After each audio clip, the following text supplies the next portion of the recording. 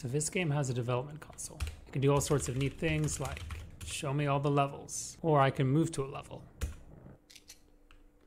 I can also do things like evaluate expressions, call inbuilt GDScript functions. I can even pass those as arguments to existing functions. Now I've moved to a random level. So how does all this work? Do I parse a million strings or use regexes or something? No, this is using GDScript expressions. So it's a special type built into Godot. Basically what it does is just let you run little snippets of GDScript at runtime.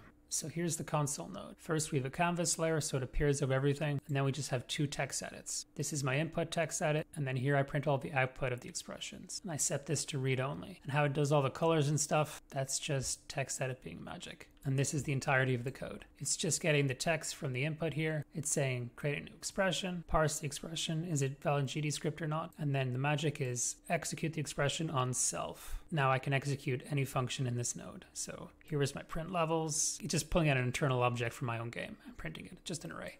And then move to levels, same thing. Move to levels was an existing function in my game. I'm just exposing it and calling it here. And then to show you that it really is easy, let's add a new function called echo. And echo will take in a value, and then it's going to return the value. Echo sound. There we go, it works. Nothing to it.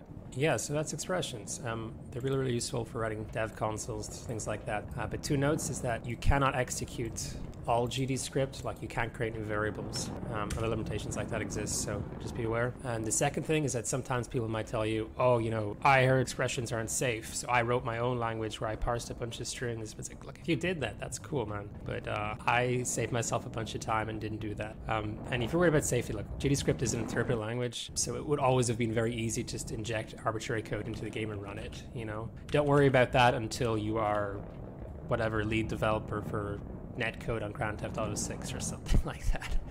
Um, until then, I'd say, you know, expressions are just fine. Um, yeah, and as always, if you want to support me, you can wishlist my game Space Bandit. Here's a map editor and expressions.